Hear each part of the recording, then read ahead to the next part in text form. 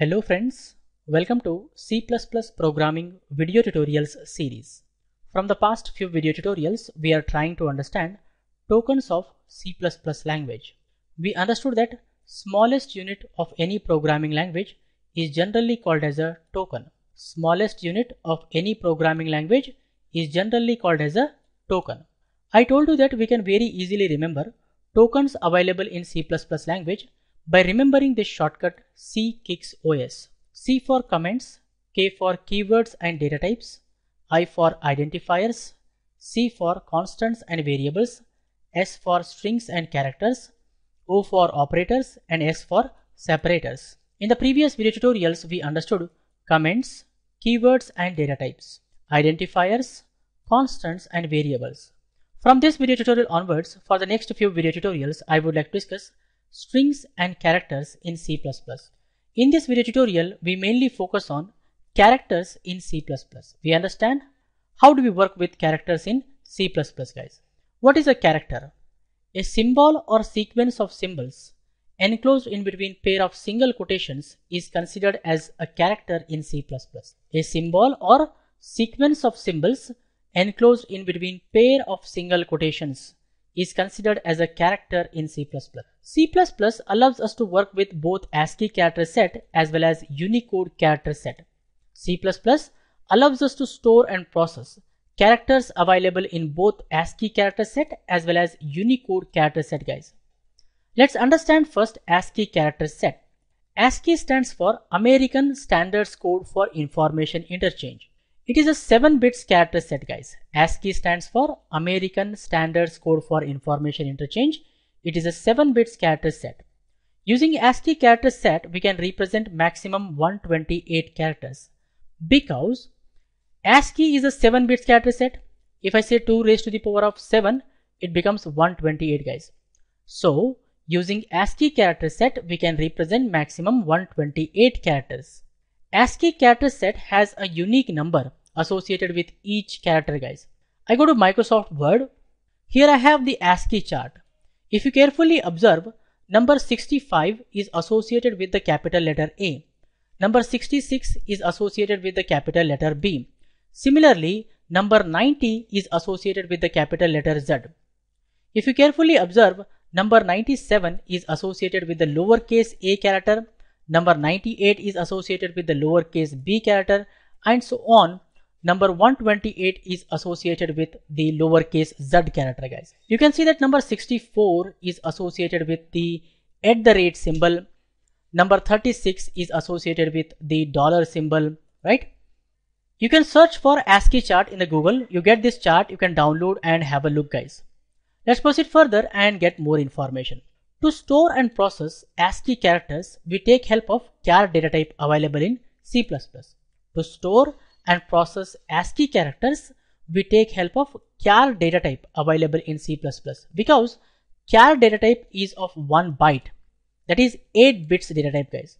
ASCII is 7 bits character set, char data type is 8 bits data type which is sufficient to store and process all ASCII characters guys. Syntax for declaring and initializing a character type variable is we write the char data type, we write name of the variable equal to we write the value then we say semicolon guys.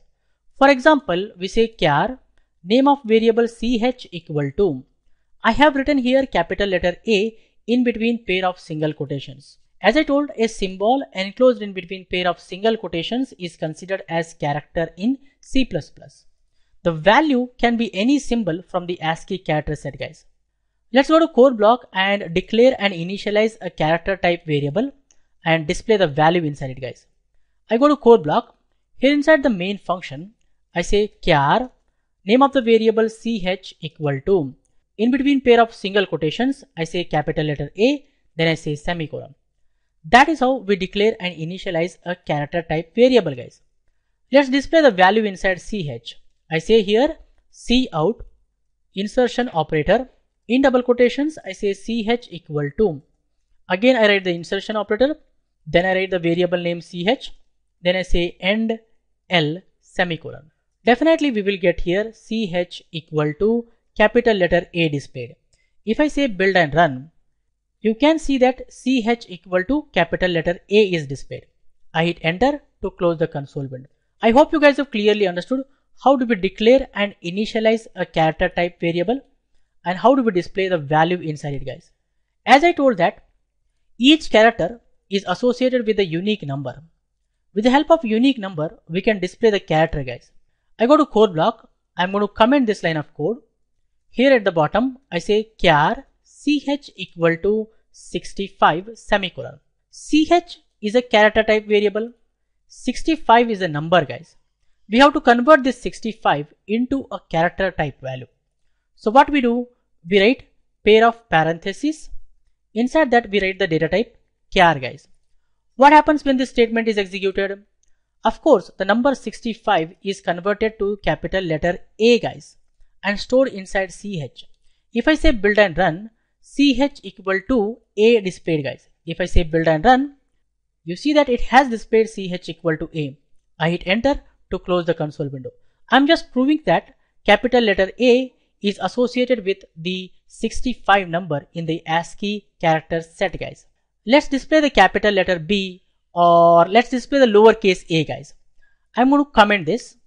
I uncomment this. Here I write the lowercase a. Definitely we will get here ch equal to lowercase a displayed. If I say build and run, you can see that ch equal to lowercase a is displayed. I hit enter to close the console window. I am going to comment this line of code. I uncomment this line of code. What I have to do here, I have to give the ASCII value of lowercase a in this place. The ASCII value of lowercase a is 97 guys. I go to code block. Here I say 97. This time 97 is converted to lowercase a and stored inside ch. This statement displays ch equal to lowercase a. If I say build and run, you can see that ch equal to lowercase a is displayed. I hit enter to close the console. So remember that in the ASCII character set, each character is associated with the unique number guys. I'm going to delete this content from here. Now we understood how do we work with ASCII character set. Let's understand Unicode character set guys. We know that in the real world we have more than 128 characters because in the real world we have so many written languages. Each written language contains so many characters. To represent all such characters, ASCII character set is not enough guys. Using ASCII character set, we can represent only English language characters. To represent almost all characters from almost all written languages present in the world, we need to take help of Unicode character set guys. Unicode stands for Universal Code. Unicode is a variable length character set. It comes in 8 bits, 16 bits or 32 bits. That is 1 byte, 2 bytes or 4 bytes guys. Using Unicode character set, we can represent almost all characters from almost all written languages present in the world. Unicode character set has a unique code associated to each character. Unicode character set has a unique code associated to each character guys. To store and process Unicode characters, we take help of wchar underscore t data type. Because wchar underscore t is a 2 bytes data type that is a 16 bits data type. If I say here 2 raised to the power of 16 we get 65,536 guys. To store and process Unicode characters, we take help of wchar underscore t data type. wchar t is 2 bytes data type that is 16 bits data type which is sufficient to store and process more than 65,000 plus characters guys. Syntax for declaring and initializing a wide char type variable is wchar t is wide char type guys. Syntax for declaring and initializing a wide char type variable is we write wchar underscore t, we write name of the variable equal to, in between pair of single quotations, we write backward slash u. Backward slash u indicates Unicode guys. Then we write 4 digit Unicode value here. For example, wchar underscore t, name of the variable ch equal to capital letter L in between pair of single quotations, I have written backward slash u 0041. 0041 is the Unicode value for the capital letter A guys. You can get list of Unicode characters in the character map tool available in the Windows operating system or you can Google for Unicode character set guys. If you search in the Google for Unicode character set, you get all the Unicode characters and their Unicode value guys. You can see that if I select a character here, at the bottom we can see the Unicode value of that character guys. Exclamation mark has the Unicode value 0021. If I click on capital letter A, capital letter A has the Unicode value 0041. That's the reason I have done here 0041 guys. Let's go to code block and understand how do we declare and initialize wide char type variable and display the value inside it guys. I go to code block. To work with Unicode characters, we have to convert our console window or the standard output mode to Unicode mode guys. We have to convert the console window mode to Unicode mode. We have to switch from ASCII mode to Unicode mode, Unicode mode to ASCII mode guys. I'm going to include here io.h file. I say hash include io.h. Inside io.h file, we have underscore set mode function guys. Using underscore set mode function, we can set the ASCII mode or Unicode mode for the console output window guys. It takes two integers. First it takes the file, next it takes the mode value guys. Here I say underscore file no there is a underscore file no function which is available inside stdio.h header file. So I include it. I say hash include stdio.h to the file no function. We pass std out and std out indicates standard output that is the console window guys. Then I say comma. Then we write here the predefined constant underscore o underscore text guys. Underscore o underscore text is available inside fcntl.h header file.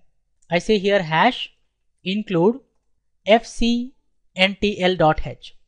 if i select this predefined constant right click and say find declaration you can see that it is available here. Its value is 0x4000 i'm going to copy this line of code I go here, instead of including fcntl.h, I paste that constant itself guys. Hash define, we are defining a constant or a macro underscore o underscore text which has the value 0x4000 which indicates ASCII mode guys which indicates ASCII mode. By saying set mode underscore file no std out comma underscore o underscore text we are setting the standard output mode to ASCII mode guys. Here I say C out insertion operator in double quotations I say first alphabet equals to semicolon. If I say build and run you can see that it displays first alphabet equal to. I hit enter to close the console window. Now I want to work with wide char I'm going to convert the standard output mode by writing underscore set mode underscore file no std out. In this place, we will be using underscore o underscore w text guide, which indicates wide text. I'm going to select this. I right click on it, say find declaration of underscore o w text. It is available inside fcntl.h header file. I'm going to copy this and paste here guys. So this line of code changes the mode of standard output to wide char mode or the Unicode mode. Here I say wchar underscore t ch equal to capital letter L in between pair of single quotations. I write backward slash u which indicates which indicates Unicode. Then I say 0041 0041 is the value of capital letter A right guys let's display the value inside ch to display the value inside ch, we take help of wc out this time guys. We don't use c out, we use wc out. Then I say insertion operator, then I say ch semicolon. If I say build and run, it displays first alphabet equal to capital letter A. I hit enter to close the console window.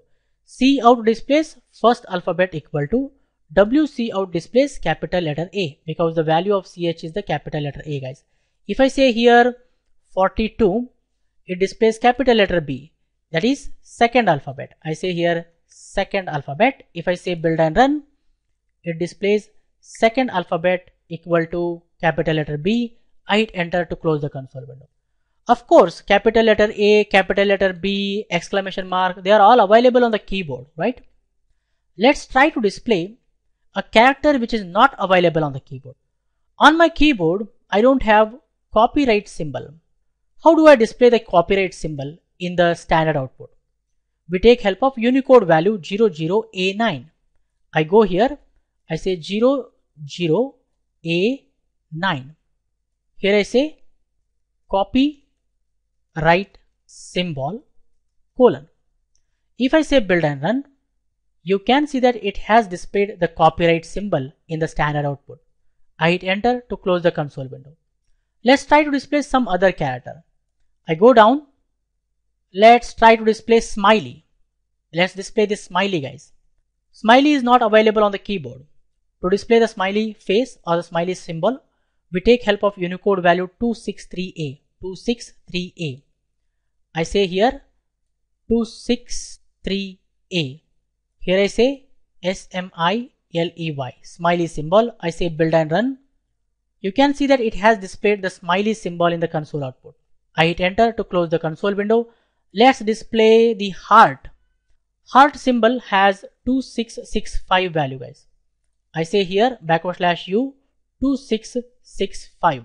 Here I say H-E-A-R-T, heart symbol. I say build and run. You can see that it has displayed the heart symbol guys.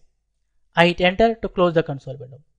At present, the console window mode is set to the wide char mode guys. I'm going to convert it back to ASCII mode. I'm going to copy this line of code and paste down. At the bottom, I say here C out insertion operator endl semicolon. Endl adds a blank line guys. If I say build and run, you can see that we got the blank line in between the heart symbol line and the process return zero line. I hit enter to close the console. So that is how we declare and initialize a wide char type variable and display the value inside guys. So remember that to work with characters which are not available on the keyboard, we need to take help of Unicode character set guys. And while working with ASCII and Unicode character set, we need to change the mode according to the requirement. We need to change the mode of the console window according to the requirement guys. I hope you guys have clearly understood. I think for this video tutorial, this much is enough friends. I suggest you people to watch this video again and again, understand everything clearly, try this code yourself, experiment with more examples, try to display some other Unicode characters, try to display some other ASCII values. In the upcoming video tutorials, we are going to discuss more about characters and strings in C++. If you like this video, hit the like button and share with your friends so that everyone will get benefited. For more benefits and be up to date, do not forget to subscribe to my YouTube channel. Keep learning, keep coding, keep sharing. Thank you guys. Thank you very much. See you in the next tutorial.